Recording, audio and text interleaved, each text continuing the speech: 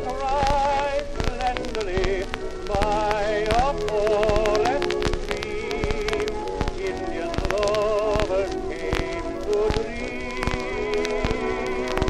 neath the moon aglow in the long ago. They sang of love sweet and low, and though